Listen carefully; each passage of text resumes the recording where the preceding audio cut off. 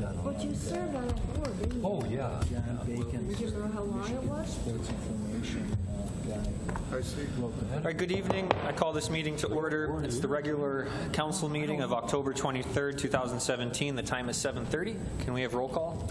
Mayor Pro Tem Bliss. Here. Councilman Clark. Councilman Clark. Present? Councilman Corbett. Here. Councilman Gettings. Here. Councilwoman Scott. Here, Councilman Soltis. Here. And Mayor Hartwell. Yes, I'm here. Thank you. Uh, Would you please rise if you're able for an invocation to be led by Councilman Richard Clark and remain standing for the Pledge of Allegiance? Heavenly Father, let us look to you for help in identifying the problems we can rectify in our community and guide us in our efforts to administer aid to those in need. Help us to use our time and energy wisely, not to waste it on insignificant matters that benefit no one. Amen. Amen. Pledge allegiance to the flag of the United States of America and to the republic for which it stands, one nation, under God, indivisible, with liberty and justice for all. Thank you. You may be seated. Are there any additions or deletions to the agenda tonight? Okay, we'll go to the substantive portion of our agenda. Uh, Item A1 is a public hearing for ordinance 2122, which is the new uh, downtown development plan. Uh, Mr. Myers, I believe staff has a presentation before I open the public hearing. Uh, Yes, Your Honor, I'll give uh, some brief comments, and then we'll have the staff presentation. In June of 1997, City Council created the uh, Madison Heights Downtown Development Authority, and as a result, the DDA adopted the Tax Increment Financing and Development Plan to establish the legal basis and procedure for the capture and expenditure of tax increment revenues.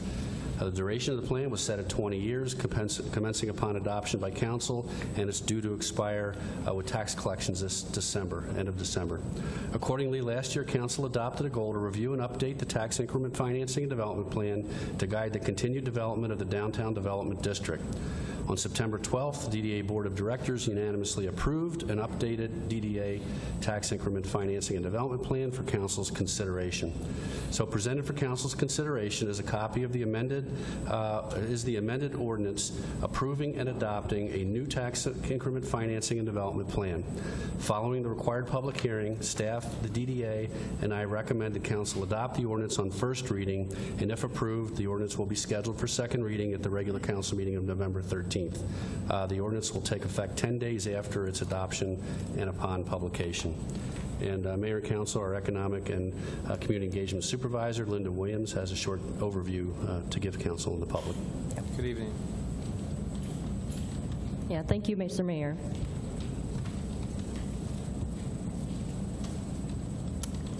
All right, the- one of the most common questions I get from our citizens are, what is the DDA? What does the TIF stand for? And how does the Ti- DDA get their funding? And lastly, what are the boundaries of the DDA district? So that'd be appropriate to start off with this first slide on some fast facts about our DDA. On March, as been stated, on March 10, 1998, the Downtown Development Authority adopted a tax increment financing and development plan. This plan established the legal basis and procedures for the capture and expenditure of tax increment revenue that is used to finance recommended public improvements within the DDA. Uh, It is, consists of 13 board members who are, a lot of them are here present for this today's meeting. And it is also a relatively small DDA with just under 200 parcels and approximately 104 acres.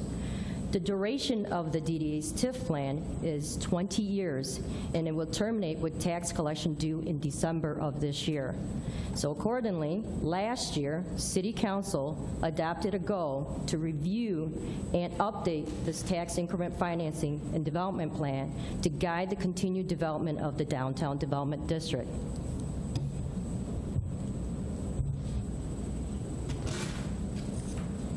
As stated, the other common question I get from our businesses is what are the boundaries of the DDA district? So I'm going to just, hopefully you see my, is there a mouse pointer right here? So the northern portion of our DDA district starts at Gardenia and John R., okay? And then it it goes all the way down, all the way down to 10 Mile and John R. Picks up the last two parcels with the bowling alley and then auto repair, repair shop at the 10 Mile and John R. corner, and it goes from the service drive on 11 Mile over here all the way to the other end of Lorenz, just before the high school. So that, that I call it the small little cross of our DDA uh, boundary, or DDA district.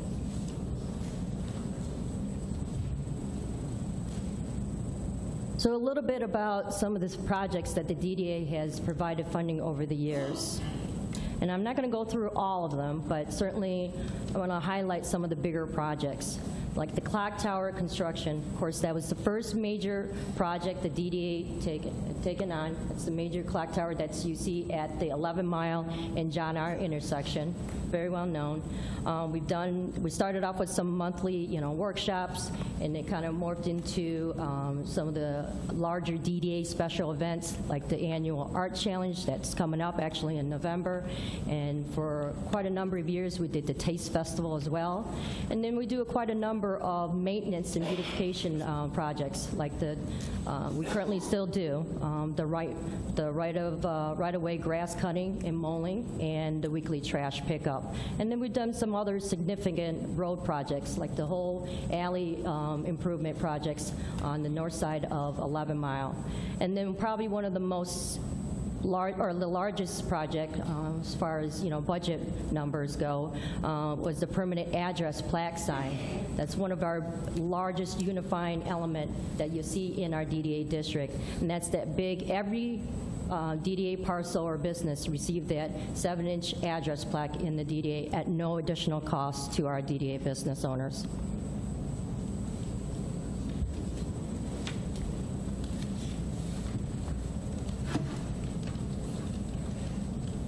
All right, how is the DDA funded? Again, that's another common question that we get from our residents. In order to finance the public improvements outlined in the development plan, the DDA has utilized the use of tax increment financing, which is the ability to capture the incremental increase in property taxes that results from improvements in the DDA district. So I'm going to put a little illustration that I used for my DDA board. So if you can imagine, this is our DDA. Once the DDA district and the TIF plan is approved, the property values covered by that plan are essentially frozen. Okay? Future tax revenues attributed to any increase in value above that base value are then captured by the DDA authority in order to implement the projects outlined in the TIF and development plan. Now, TIF funds are then captured and spent only within the DDA district. Now, TIF is not an additional tax or a new tax. It is redirecting a portion of that tax revenue already being collected. And that's where you see in that captured in this last slide here. Again, the premise behind TIF is fairly simple. It allows the authority to direct funds to engage in specific economic development activities without raising local property taxes. The value of the increment the additional tax rates created by new or increased development saw this tremendous decline during the recession. And my next two slides um, helps to demonstrate that. I know it's a little bit small on the screen here, and I do have copies of both the PowerPoint presentation and copies of the uh, draft plan too as well. So if anyone who wants to come and pick that up afterward, I'd be more than happy to um, pass that out. All right, this DDA tax revenue forecast sheet best summarizes how these factors have impacted the DDA revenue. The forecast sheet provides a very conservative forecast of projected revenues based on a projected growth for the next 20 years. As you can see, the annual revenues are only estimated to increase from $58,000 in year one to just over 65,000 in year 20. In addition, since the passage of Proposal A, the state equalized value, or the SEV, has historically been higher than the taxable value of a property. However, with the wave of the housing crisis and the economic recession experienced in the last decade, the market value plummeted. The other major factor that has contributed to the steep decline in the capture is losses due to property tax appeals. The good news is that the Madison Heights DDA has no debt or loan obligations like you see in some of the other uh, DDAs are- that are DDAs are experiencing. And lastly, Madison Heights is 98% built out, which further limits the amount of new tax base and the tax increment to add to the TIF revenue.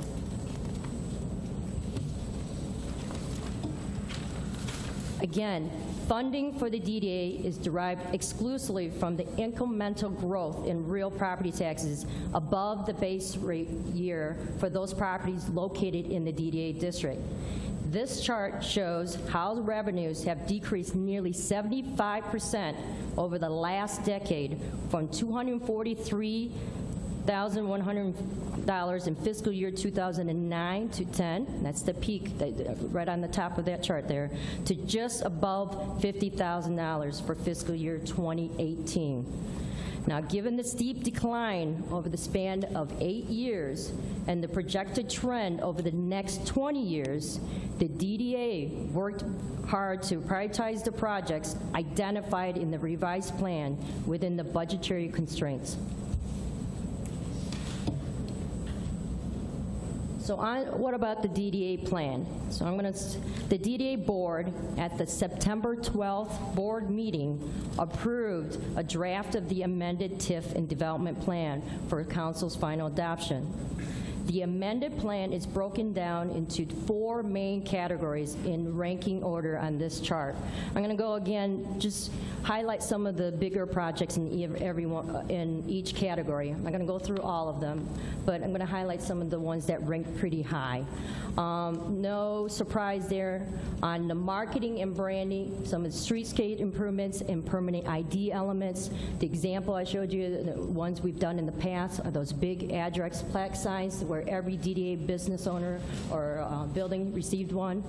11 Mile and John R. Center was, no surprise, uh, ranked They're also looking for some, you know, unifying elements or marketing elements that we could apply to that key corner of our DDA. Um, Some of the smaller projects that we're already doing, like the bike rack program, they would like to see a continuation of that. We just had it, uh, two weeks ago, had our bike rack unveiling, and we're going to have two brand-new ones, one on John R. and one on 11 Mile coming up actually next week. Um, On the beautification effort, um, the most, it- again, it's not, it was not a surprise that it ranked number one.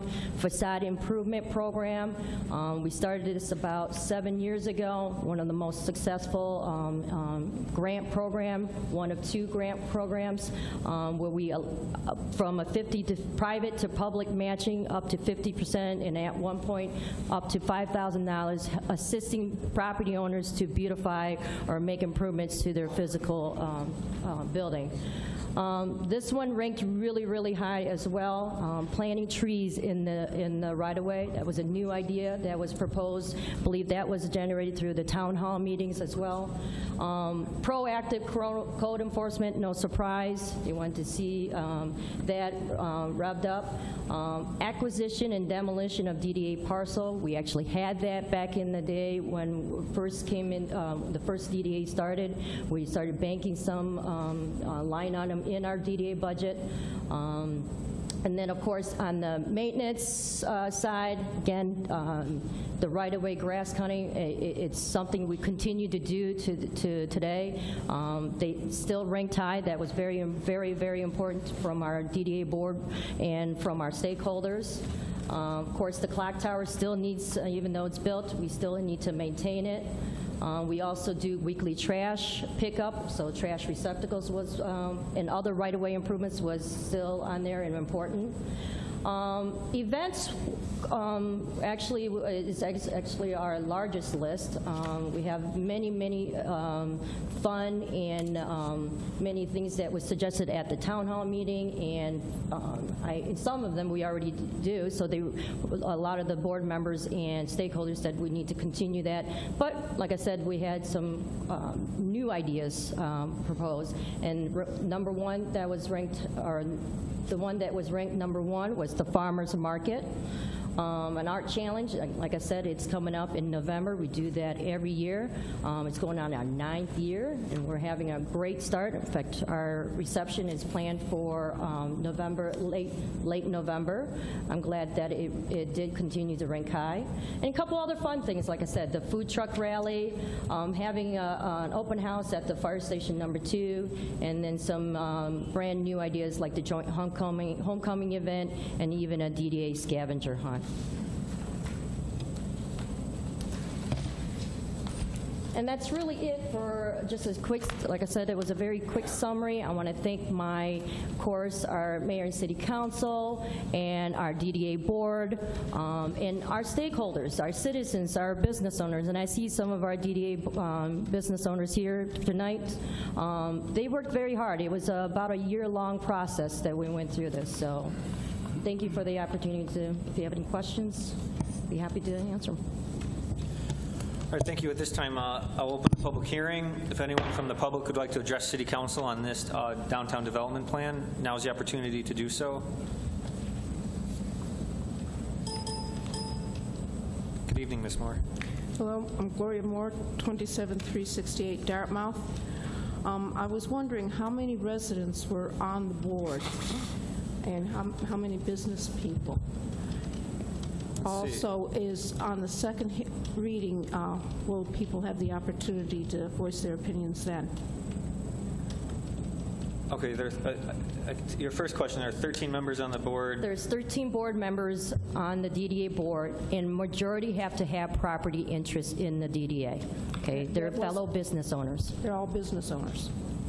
Some, we have a resident on there, and some um, out-of-district um, um, board members. But in, by statutory, um, right, they have, to- you have to have majority having property interest in the DDA.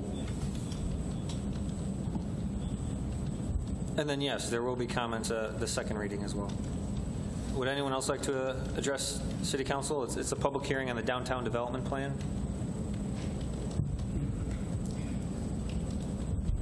Good evening. Good evening. I'm Rosalind Grafstein. I'm going to try and get a clarification on Mrs. Moore's question. So in order to be a board member, you need to own a business in the DDA, is that correct? Yeah, Mr. Mayor, the, all of our board members, DDA board members, are appointed by mayor and council, okay? And they have to have, major- majority must have property interests in the DDA district. So many of them are property owners or business owners, or they work for the company or business. Okay. Um, Are there any residents, are there any Madison Heights residents on the current board? Uh, Myself, Brian Hartwell, I'm on the board. I'm a resident of Madison Heights. Okay. Um, Does someone from council have to be on the board? I believe the mayor, uh, by the city ordinance, is designated as a member of the board. Okay. Um, And then my question, um, I just want to follow up on Mrs. Moore's and get uh, some clarification there.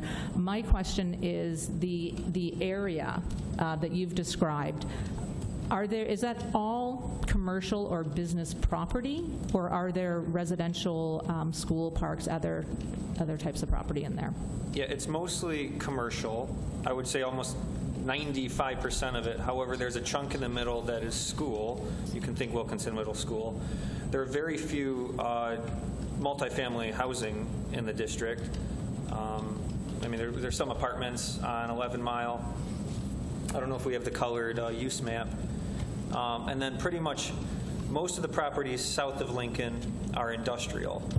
Okay, so But, you know, mostly everything north of um, Lincoln is commercial, with the few exceptions, uh, Wilkinson and some multifamily. So there's, there's one school and a smattering of, uh, of apartments. Yeah, and there's a municipal building as well, the fire, fire station. Fire station.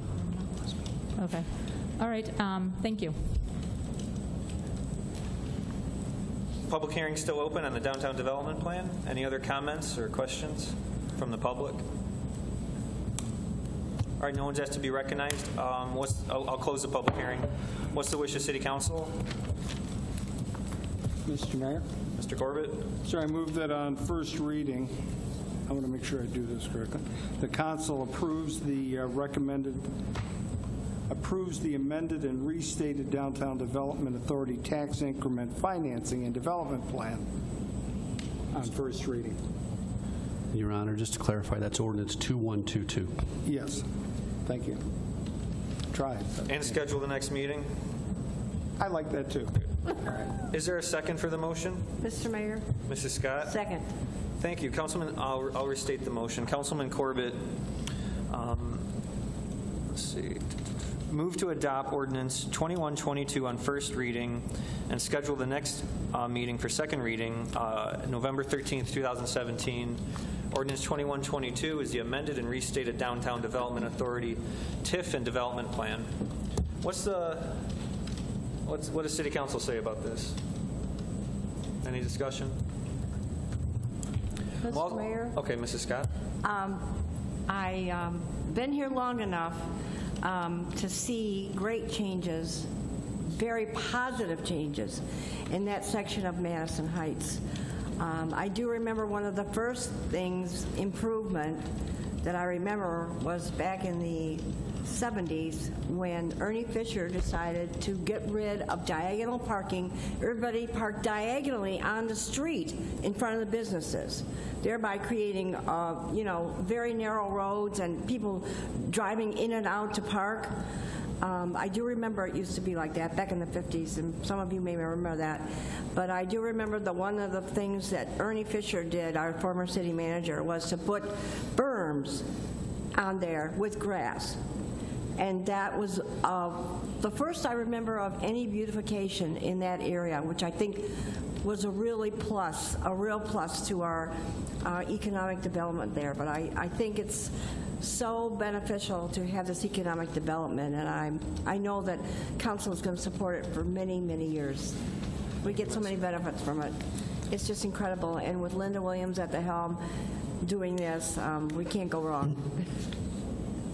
You know, I do want to recognize the, the members of the, the Downtown Development Authority Board who've, you know, some have been here all 20 years, um, and others have just been here for a year, you know, giving us some new energy, some new ideas.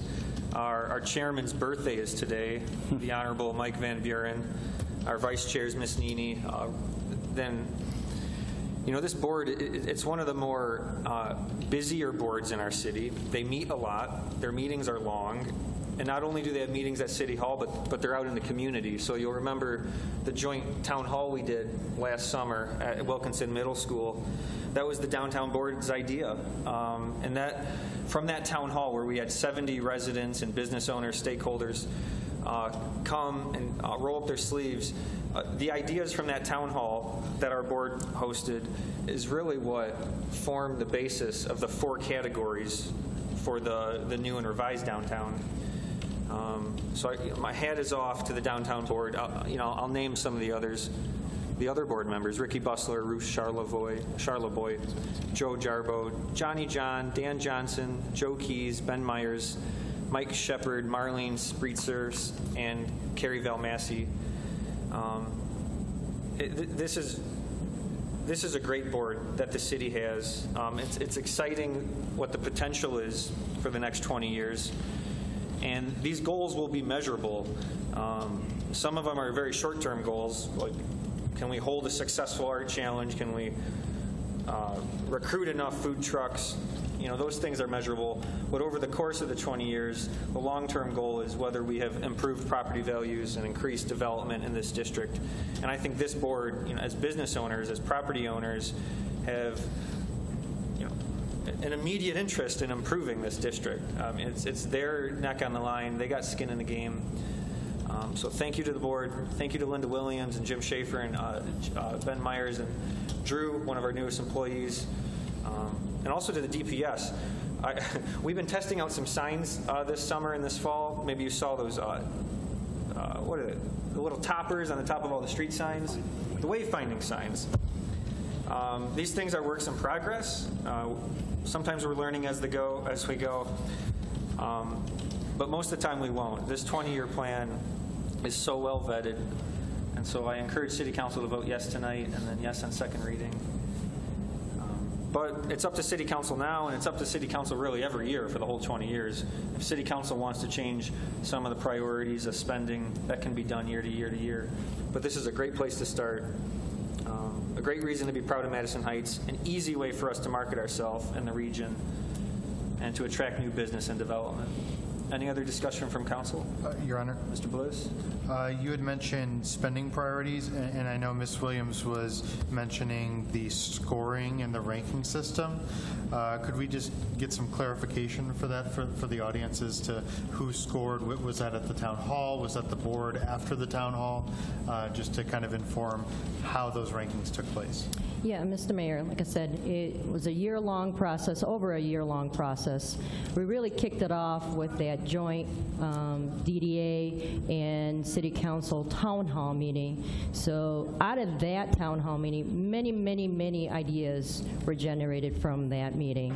Um, Obviously, with the budget constraints, we can't do them all. So we had the tedious task. Not, not only we asked our stakeholders that participated in the, in the town hall meeting, we had every bit of 70-plus um, board members and citizens, business community leaders, school members, representatives come and join us. So we had a broad spectrum of ideas generated. And we had to wind that down, and, and the board members themselves um, had to go through that list and prioritize, you know, within the budget constraints that we knew with the, you know, projected TIF for revenues um, that we had in front of us. And that's, all of those ideas were put into those four main categories. I'll go to that slide here. Oh. So all those ideas, um, big and small, medium, um, seem to fit within these four main categories. Um, Like I told you, events was like the most, especially at the town hall meeting, was the most, you know, um, folks that were most vocal about. But uh, the other uh, categories, they were just as important. Um, We, we had them take that whole, if there was 20 ideas under marketing, we had to wind it down, okay? And these are the, on this chart here, you'll see number one, um, number two, three, and four, and then obviously on down. Those are the priority items, and, uh, and uh, in the TIF plan, actually winds it down, takes it down even further by year, project year. Does that make sense? Uh, Your Honor? I know it's a little hard to see up here. Yes, Mr. Bliss? Just a, a follow-up question to that. Um, So they're ranked within the four categories, marketing, beautification, maintenance, and events.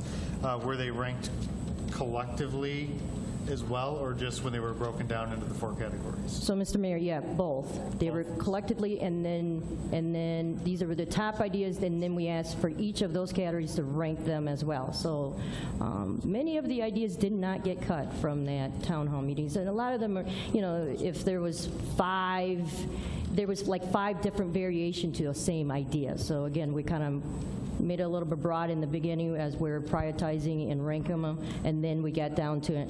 Each of those um, in, within the category, we actually explained in a little more detail. So in the TIF plan, it explains a little bit more. This is just a snapshot of the four main categories.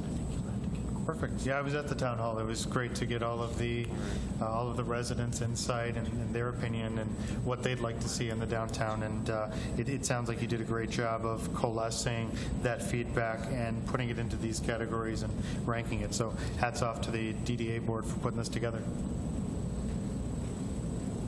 Um, One thing I, I, I want to clarify. Our next council meeting is when there will be the change of city council, from the current city council to the new administration. And um, staff made a recommendation to me that perhaps we should delay the second reading until the second November meeting. That would be the night of the tree lighting ceremony. Whatever Your Honor prefers, I'll modify the motion if you, if you'd like. Because I was hoping to get um, spoken input from the DDA board, and so Uh-huh. that may take, Posting or? yeah, posting. Um, Yeah, then uh, with the agreement of the support, I'd move that to the second meeting in November for the second reading. All right, Mr. Corbett amended the motion to move it to the second November meeting. Do you so- do you Support support it? Okay. Sorry to interrupt. Uh, Any other dis- discussion from city council on the- the subject?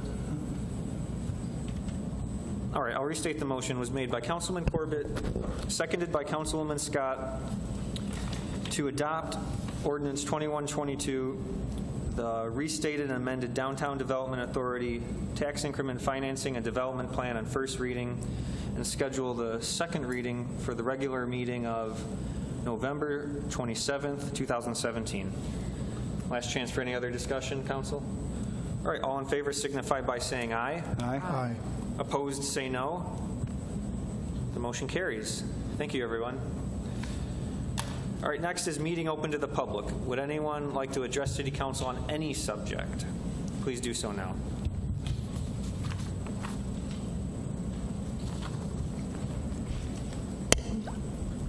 Um, Gloria Moore, 27368 Dartmouth.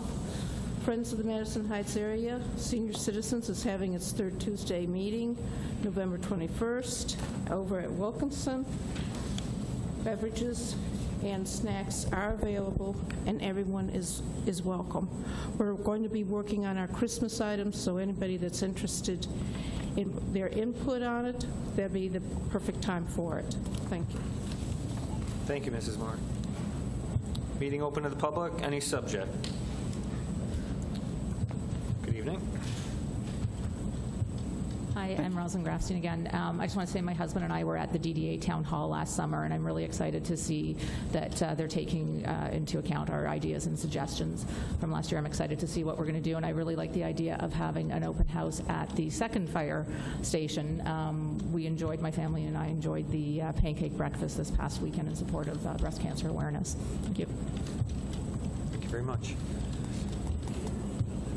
Mr. Thweatt, it's really nice to see you. little nervous, yes. Welcome Uh, back. Name is uh, Kenneth Thweatt, T-H-W-E-A-T-T, uh, known on the street as Pumpkinhead. Um, I request that uh, the the city council give uh, recognition for appreciation to the Methodist Methodist Church located on 11 Mile in our city. Uh, The fantastic pastor and the whole congregation, they reach out to veterans and try to help veterans as much as they can. They give us free dinners, free breakfasts, ca- cards for foods, clothing certificates, bus passes, and counseling. And um,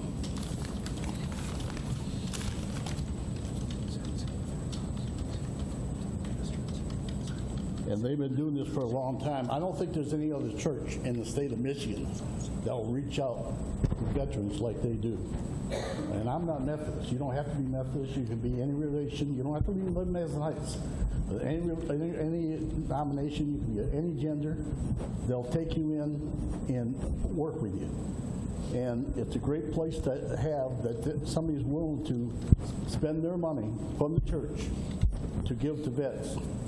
Because one thing we got to remember, without a vet, there would be no United States. And think about that. And another thing I want to get into is, is the agenda. I talked to Dave Soltis for quite a long time. Unfortunately, I didn't see him talk to the, I wanted him to talk to the council about the agenda, uh, not agenda, the blight, pardon me. And he, I didn't see him do it. So maybe he did, maybe he didn't, but he didn't do it in front of me. I think you people are putting some ordinances in without looking at all the puzzle. Okay, you, when you, I don't, I am, I'm, I'm not, I'm for less blight. But at the same time, I'm for keeping seniors where they're at. Our goal in the City of Progress, is to keep seniors in a home as long as possible. And if you're ever get pushed out of your home, you're going to know what it feels like. Until it happens, that's a problem with aged people. They don't understand what happens. But you must keep blight out of the thing. The laws and, and, and ordinances are important. You must have them. But they're not buried in cement. That don't mean they can't. I give an example. I was uh, working with the Madison Police Force, and I had a partner. And we were going down the street, and he says, "We got a problem." I said, "What's the problem?" He said, "Well, a couple, older couple is sitting on a bench." I said, "Yeah, talking." And I said, "Yeah, they are." And he says, "Well, it's past 10 o'clock." which is the ordinance for the parks, 10 o'clock. Now, by being the former deputy sheriff of Oakland County and County for Public Safety, I learned that flexibility is an important thing to have. You just can't look at the, the ordinance and the laws and say, this is what must happen. And so uh, I would like to see a little bit more work in, in uh, not just the blight, because I'm not for blight, but at the same time, I'm not for blight to get seniors kicked out of their homes. So they come down and, and then, and then they say, you got to have this little mark painted, you got to do this, you got to do that. Well, one thing about it, we don't have the help, the volunteer help, except for SHARP, to help a senior. I mean, when you get to be a senior, I said one day you'll feel it when you get to be old, older, because you won't be able to pick up something. You won't be able to last as long. I, I went out to the yard, did my backyard, and front yard, and I, I'd go about three or four hours, and that was it.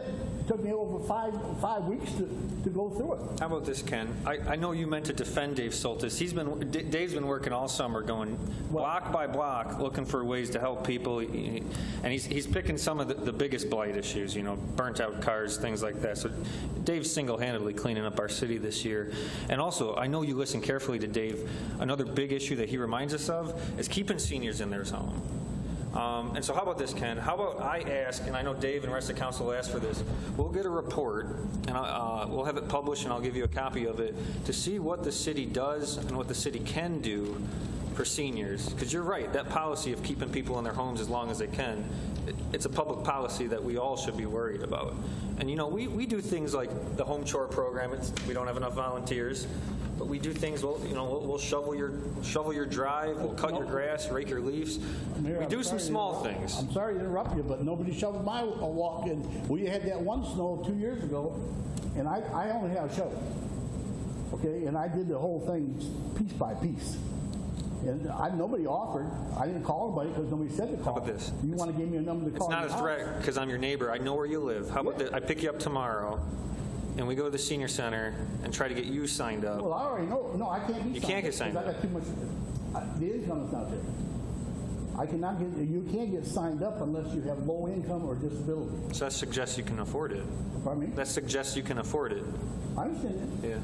No, I know those rules. But the point about it, Detroit brings people in to volunteer it's out of state, and they help Detroit. I'm not knocking the SHARP people because they're great.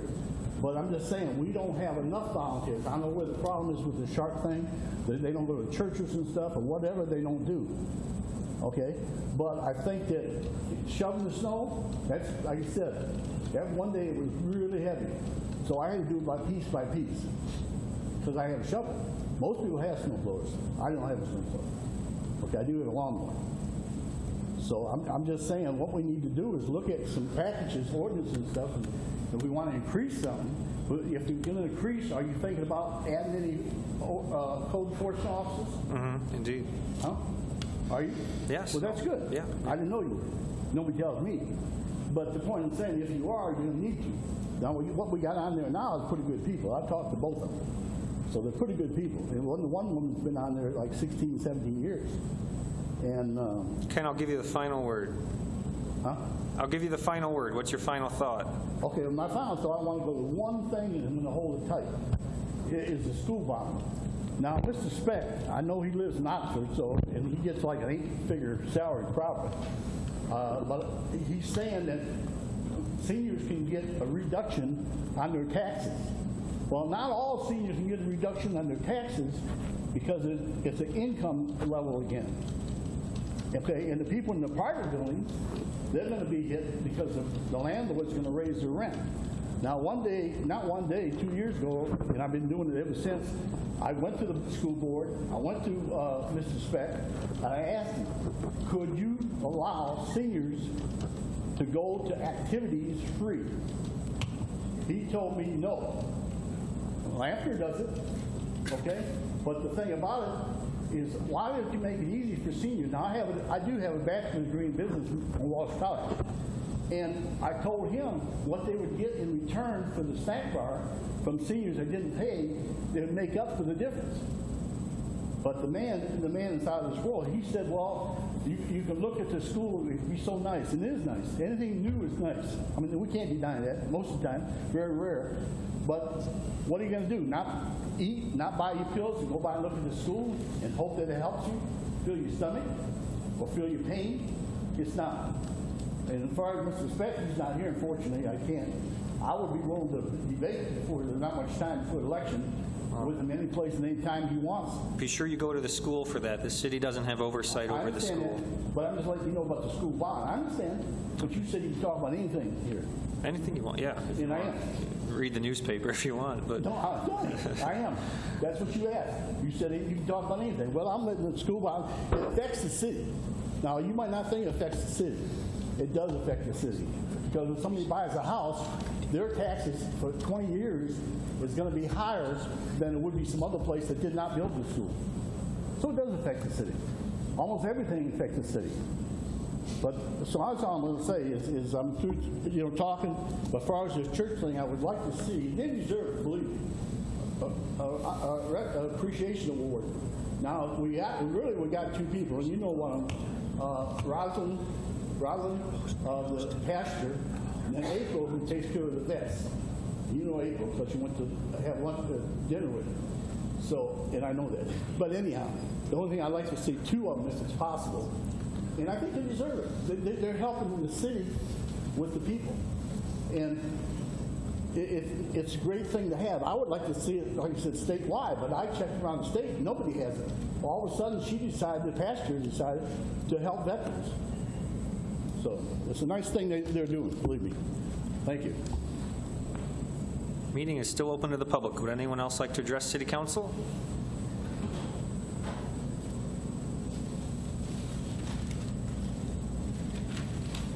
I'd like to uh, introduce myself. I'm Tom Lewandowski. Been around Madison Heights for about three years. Bought a building on Lincoln, and I bought the old uh, uh, family heating and cooling building on John R. I would just like to say that uh, I'm a 42-year commercial painting contractor. I have uh, quite a bit of interaction with different cities. The city services here are outstanding. The, they come by the street, they clean, the trash picks up. I never see anybody goofing around. Um, the building department was outstanding to work with, and uh, oh, I was choked up because Oh, thank you. uh, over the years, I've represented uh, some complaints with McDonald's franchisees in cities where they tell them what color they can paint their building and not. This city is just really on the verge of breaking out. So I don't know if anybody here, you know, I don't want to throw out cities because some people may not want it to look like Berkley or, or uh, Ferndale, but downtown Madison Heights is just waiting for people that care to clean it up and commerce and people that are in walking distance that don't even need a car to walk and do commerce on this uh, main building. But you know, when I bought my first building, to me, it, my first impression was it was a ghost town, and people, uh, it looked like, you know, a lot of stores weren't leased out. And I'll tell you, it, it doesn't even take money sometimes. I call myself the janitor of the block, just picking up 100 cigarette butts every morning. But people just pick up the paper and take pride in their own property and say hello to each other. It, it, it won't take 20 years for this city to get where it's going. But really, I just want to take the time. I know people come in here and beef their, uh, their grievances, but a lot of great people here, just really doing a good job, and uh, pretty excited to see Madison Heights' future and working with people like Linda. Thank you, Tom, very much. Would anyone else like to address city council this evening? Okay, no one asks, no one else is asked to be recognized. So continuing on the agenda, we will go to item D1 under reports from the Community Development Director. Uh, Mr. Myers, do you have a report? Yes, I do, Your Honor. Oakland County Information Technology has uh, entered into an agreement with ESRI Incorporated, uh, which is a major provider of mapping software, uh, to provide online accounts at no cost to local cities. These accounts will allow us to access their ArcGIS, or Geographic Information Systems, online uh, for mapping and data viewing. Uh, This, this program will allow the city to comprehensively update our utility maps in a manner that allows easier data sharing, uh, to share data with contractors to improve the mapping of our projects, to allow the police and fire departments to easily update and maintain our existing maps that show public safety issues like chemical hazards and and crucial infrastructure uh, like hydrants.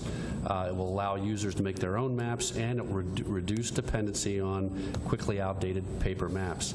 Uh, These online accounts typically cost $500 per user per year, meaning this agreement represents a major upgrade in our functionality at no additional cost to the city. In fact, if the city were to have to purchase uh, the 25 user licenses that we anticipate under the agreement, uh, you can do the math, the cost would be $12,500. Uh, These online uh, accounts will be most valuable for securely sharing our own utilities data with, uh, within the city uh, with contractors without uh, relying on the maps, and it allows selected users, uh, such as employees and contractors, to view our utility data, which is not directly accessible to third parties. Uh, The data that's provided through the agreement is county-level data that's already available to the city, but it'll simply be provided through this new online platform with no change in the type of data available to third parties. And again, the main benefit is to increase our mapping uh, capabilities. In 2016, the city signed a similar agreement with Oakland County to provide information technology services uh, for a number of things like online payments, over-the-counter payments, local tax payments, our jury management system, uh, web publishing, support services, data center use, uh, our OakNet, which is our our backbone that connects us, uh, internet service, and the CLEMIS law enforcement system. This agreement will cover those above services with no changes, but it adds the access to ArcGIS Online and high-quality uh, aerial photography. Uh, So staff and I would recommend that council approve the interlocal agreement with Oakland County and authorize the manager, uh, city manager to sign on behalf of the city. And I do want to recognize tonight the uh, efforts of uh, Drew Phillips from Community Development, who heads up our GIS operation. That's all, Your Honor. Thank you, sir. What's the wish of City Council? Your Honor. Mr. Bliss? I move that we uh, accept the interlocal, or accept and approve the interlocal IT agreement with Oakland County for new GIS services. Thank you. Is there a second? Mr. Mayor, Mr. Corbett? support? Thank you. A motion was made by Mayor Pro Tem Bliss, seconded by Councilman Corbett, to approve the interlocal agreement with Oakland County authorizing the city manager to sign on behalf of the city for GIS uh, services. Any discussion from city council? All right, we'll vote. All in favor signify by saying aye. Aye. Aye. Opposed, say no. The motion carries. All right, we can skip ahead to the minutes. Can I please have a motion regarding the minutes from October 9th? Mr. Mayor? Mr. Corbett? Sir, I move that the council approve as printed the um, minutes of the regular council meeting of October 9th. Very well. Is there a second? Mr. Mayor, Mrs. Scott? second. Thank you. Motion was made by Councilman Corbett, seconded by Councilwoman Scott, to adopt as printed the minutes of the regular meeting of October 9, 2017. Any discussion? All in favor signify by saying aye. Aye. Opposed, say no. The motion carries. All right, appointments to our boards and commissioners, boards and commissions. In our informational report this week, we had a couple new applicants to boards. So is the Crime Commission a mayor's appointment? Yeah, it is. Okay, so there's an applicant, John Turchin, we all know him. Uh, Would someone on council accept my appointment of John Turchin to a seat on the Crime Commission? Um, Three-year term expiring September 2020. Mr. Mayor? Mr. Corbett? It's a pleasure to uh, nominate, uh, or to move to approve the mayor's appointment of John Turchin, my immediate predecessor in this seat, uh, to a term on the Crime Commission. Very well. Is there a second? Mr. Mayor. Mrs. Scott? Second. Thank you. Motion made by Councilman Corbett, seconded by Councilwoman Scott, to approve the mayor's appointment of John Turchin to a three-year term on the Crime Commission, a term expiring September 2020. Any discussion? All in favor signify by saying aye. Aye. Aye. Opposed, say no. The motion carries. We also have an applicant to fill the final alternate seat on the Arts and Cultural Advisory Board. Your Does Honor. anyone have that name? It's Vita Palazzolo. Yep, Your Honor. Mr. Bliss? Uh, I move that we appoint Vita Palazzolo to the last alternate slot on the Arts and Culture Advisory Board uh, with a term that expires 9/25/19. Thank you. Is there a second? Mr. Mayor. Mr. Gettings? Second. Thank you, sir. Mayor Pro Tem Bliss made a motion, seconded by Councilman Gettings, to appoint Vita Palazzolo to a three-year term as an alternate on the Arts and Culture Board, term expiring September 2019. Any discussion? Okay, all in favor signify by saying aye. Aye. Opposed, say no. Mr. Mayor, Motion carries. Yes, Mr. Gettings? are we going to do Martha Kehoe and Cliff, or did I miss it? Yep, if you want to make that motion, Okay. you can join them together. I make a motion to continue Cliff Oglesby and Martha Kehoe as members of the Community Development Block Grant Review Committee. There's a third applicant. Do you want to handle that separately? No, I thought we, okay, and Mr. John Turchin also. Thank you, Mr. Gettings. Is there a second? Mr. Mayor. Mrs. Scott? Second. Thank you. A motion was made by Councilman Gettings, seconded by Councilwoman Scott, to appoint Cliff Oglesby, John Turchin, and Martha Kehoe to three-year terms on the Community Development Block Grant Review Committee, terms expiring November 2020. Any discussion? All right, all in favor signify by saying aye. Aye. Opposed, say no. Uh, Motion carries. All three of them are appointed. Any other applicants tonight? Your Honor. Yes, sir. Uh, I move that we appoint Curtis Kogelman to ITAC with a term ending 2/10/2019. Thanks. What's the name? Curtis Kogelman. How do you spell the last name? K-O-G-E-L-M-A-N. Is there a second? Mr. Mayor? Mr. Corbett? A motion was made by Mayor Pro Tem Bliss, seconded by Councilman Corbett to appoint Curtis Kogelman to the ITAC for the vacant term expiring February 2019. Any discussion? All in favor signify by saying aye. Aye. Opposed, say no. Motion carries. Any other appointments this evening? All right, hearing none, there's no executive session, so before I adjourn, I'd invite any closing comments from City Council, and I'd like to begin with Mr. Corbett. A few items this evening, Your Honor. Um, First of all, I wanted to say thank you to the uh, firemen uh, for the uh, pancake breakfast. I know Your Honor was uh, involved in uh, promoting that. It was a very, very generous act on them to work the pancake sale. The proceeds were going towards, as I recall, breast cancer research. So thank you to the guys. They did a terrific job. And uh, hopefully, I- they've indicated they may do it again in the future, and I hope the community will continue to support and, and uh, help that project along. There's an election coming up, and just a reminder to everybody to vote, uh, two weeks from today, I believe it is. And uh, good luck to all the candidates. I've been there, I've been on both sides of it, and uh, winning and losing. And while winning is much more fun, um, I think that credit goes to all the people who uh, have put themselves out there. It's not an easy thing um, to put yourself out, put your ideas on the table. And uh, they get criticized and they get supported. And occasionally people forget you really are a person who hears what's being said. But um, it's good. Thank you to all of them. That's a terrific thing. It's a great field. And I wish everybody uh, the best of luck. Um, Speaking of elections, the uh, next meeting uh, in three weeks from now, uh, that meeting is normally given over to ceremony. The new folks are installed. Um, There's uh, the bustle of all the administrative duties that have to go on.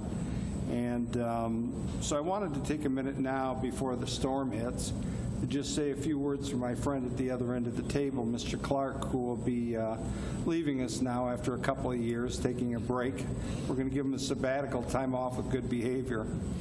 Uh, 20 years on the job, most people, uh, you know, commit murders, get off sooner. But uh, I'm, I'm happy to have served with you. It was an honor. Uh, You and all of your work uh, over these years have, uh, have acted with dignity and, um, and a real respect for the people. I know some things have gotten you mad over the years, and, um, but you always kept your calm, and you were a model, I think, for all of us up here. And um, your work, it got mentioned in a different context this evening, but your volunteer work of the community uh, between the Reserve Fire, or, sorry, Reserve Police and uh, the SHARP program and all the other projects you've been involved with speak highly of you as a man and, uh, and a leader.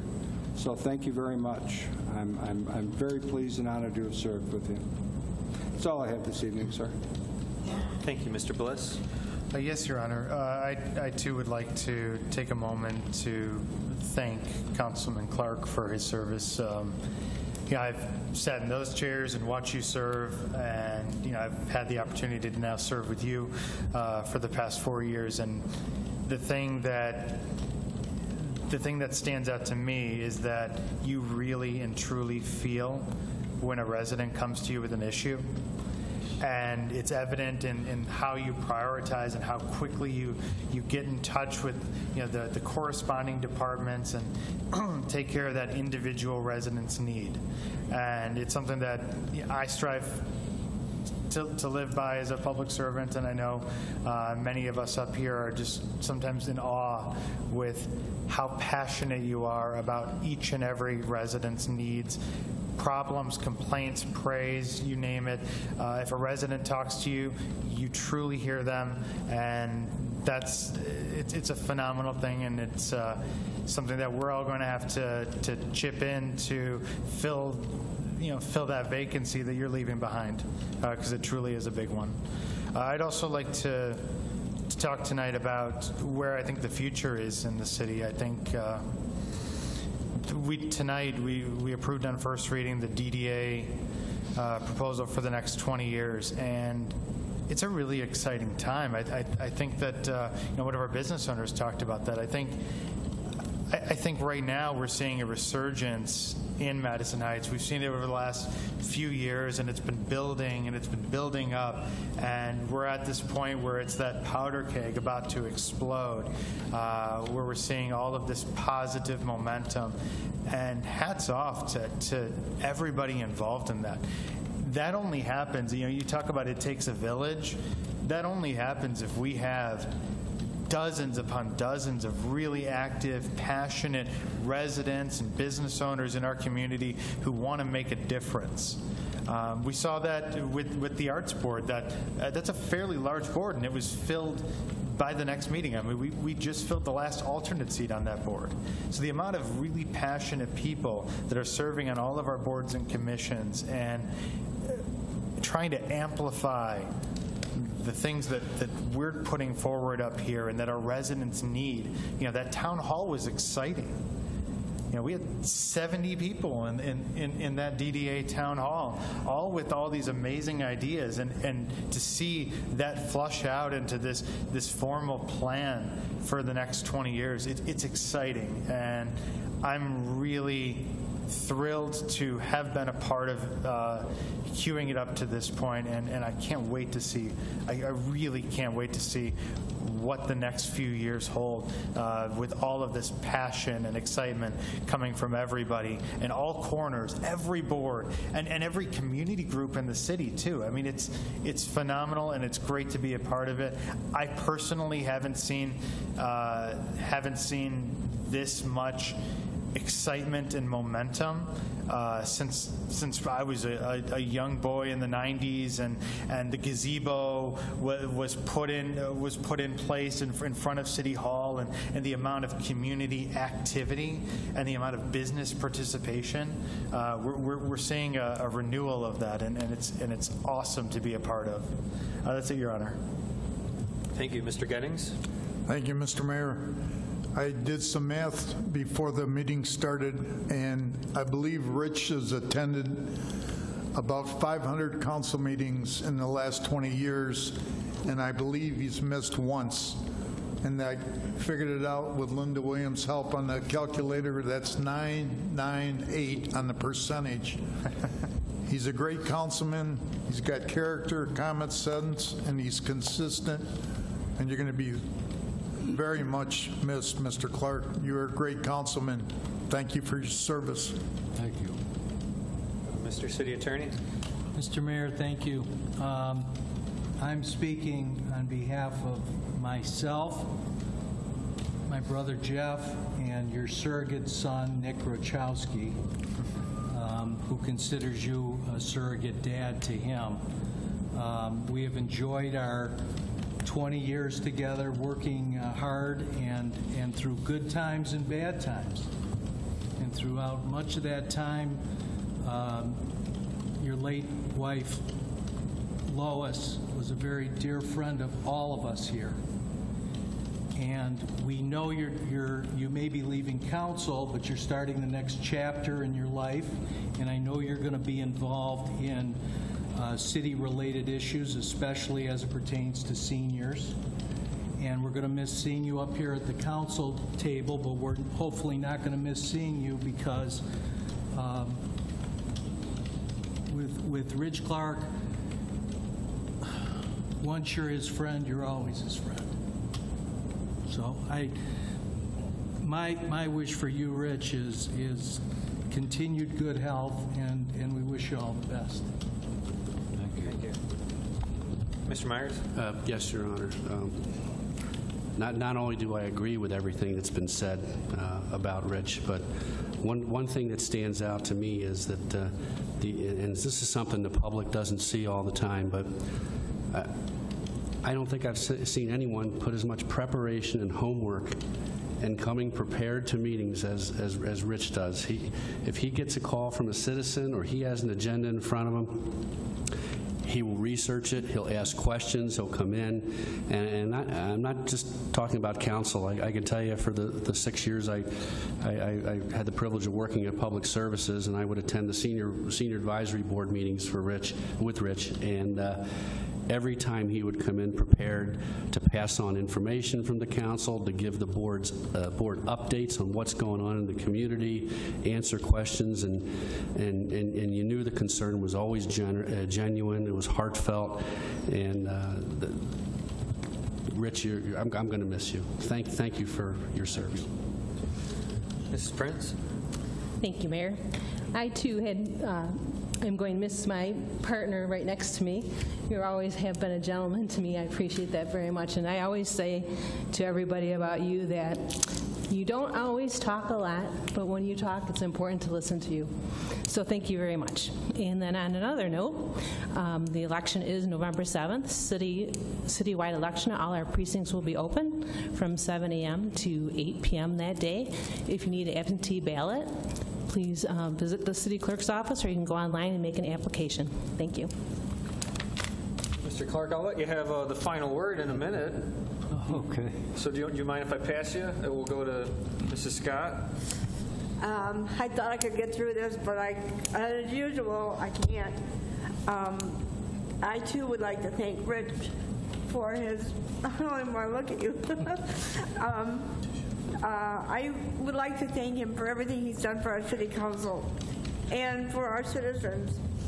Um, He made a great friend when he encouraged my husband to get involved in the SHARP program, and I appreciate that so much because it made him feel very productive.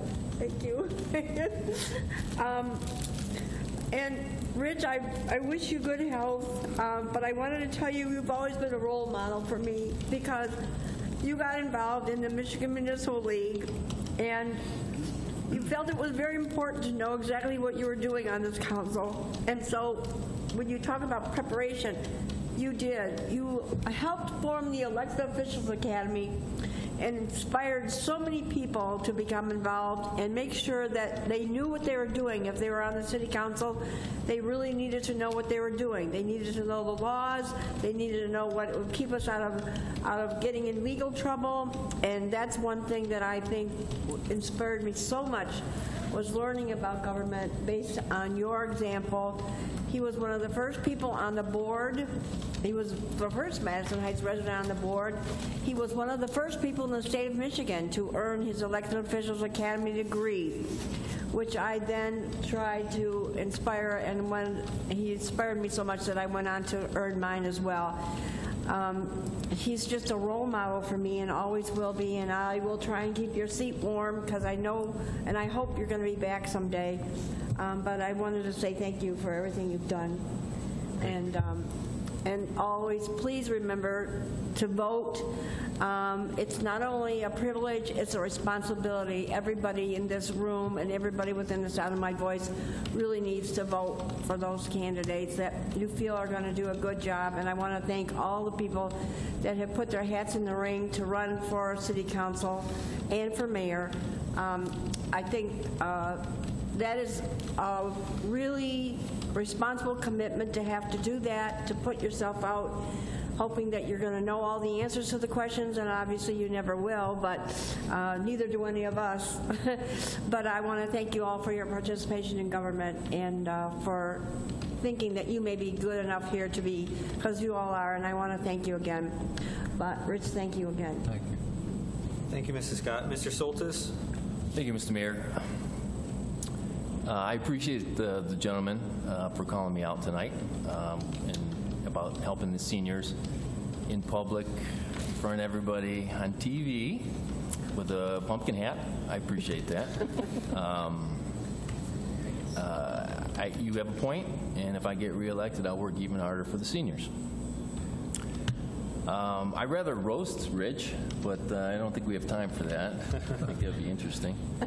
But Rich was the one that actually uh, encouraged me to run in the first place four years ago. Um, It was an honor to serve with you, Rich. Um, You're a veteran, and I, I, I totally respect that. Um, And, and I look forward to working with you uh, again. Thank you. Thank you. Thank you. Rich, I promise you'll get the last word. Um, You know, it's going to be hard to say goodbye to you, Rich. You you know, you've served our city for 20 years. You've, uh, you were the mayor pro tem for many of those years. Um, But you, you know, you, you gave us an example that uh, the job of a city council person is more than just city hall. It's out there in the public. And all your community service with, uh, you know, Little League uh, football and baseball and scouting um, is truly a model for us. Um, You know, but, but you also had a hand in uh, other charity groups like the Family Coalition and Youth Assistance and even Friends of Madison Heights Youth. And you were the director of the Chamber of Commerce or the president of the board. Um, you really did it all. And, um, you know, something that you, you taught me, and I know some of us, is you reminded us that we, you know, even in this uh, day of uh, technology, that we still need to speak to each other face to face. And that you, uh, and, and that breeds respect for each other, because it's easy to debate each other online, but, you know, when you're face to face, you get to know the person, you get to know what they believe in, and I think that's really how the city had made progress, is just your personal touch on so many issues. Um, But uh, thank you so much for your service.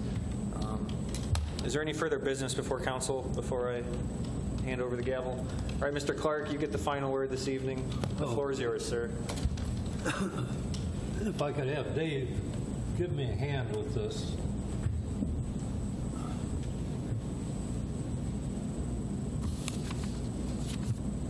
They presented me, I was nominated by a couple of my neighbors, Pat and John.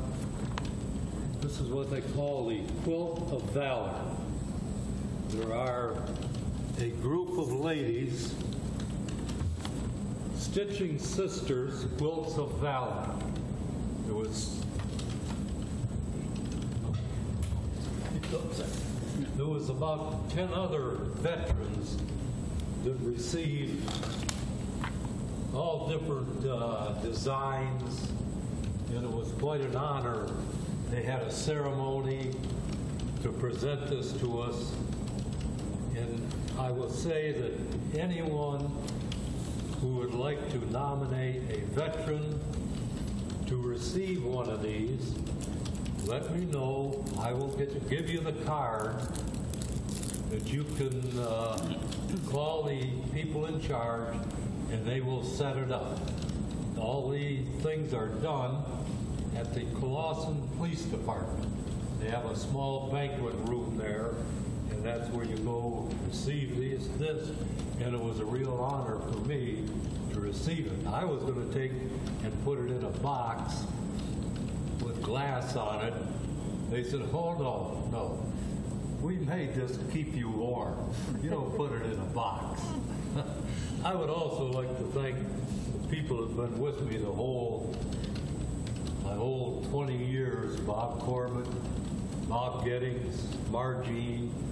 It was a real honor to work with them and all the council and the mayor now, and also the past mayors, especially Ed Swanson, who was a personal friend. And also the city employees, I feel like part of a family. And the city employees made me feel that way. And I, I enjoyed every minute of it. Like they say, I may be back, I don't know. I still feel young enough that I can, uh, I still going to contribute to the city with the uh, programs that they have for the seniors, and I'm going to sign on with the police department again to take care of the reserve vehicles with uh, one that's in charge now, John Galazzo, who does a terrific job. Well, he's going to let me have a little hand in it. So I would like to thank everybody, citizens that kept me up here for 20 years, and the only thing I would like to say uh, for my accomplishments, I missed one meeting in 20 years. So it was quite an honor to do that. And I thank you very much. Thank you,